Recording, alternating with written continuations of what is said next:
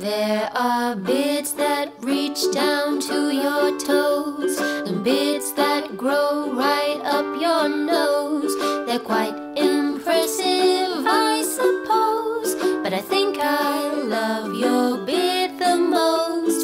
Some are big and some are small, and some men don't have one at all. My grandma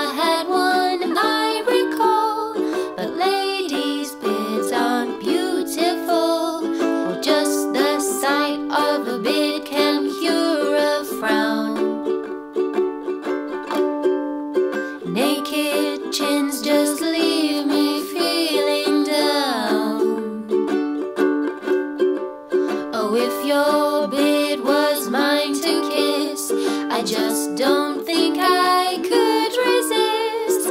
Lately, that's all I've been dreaming of.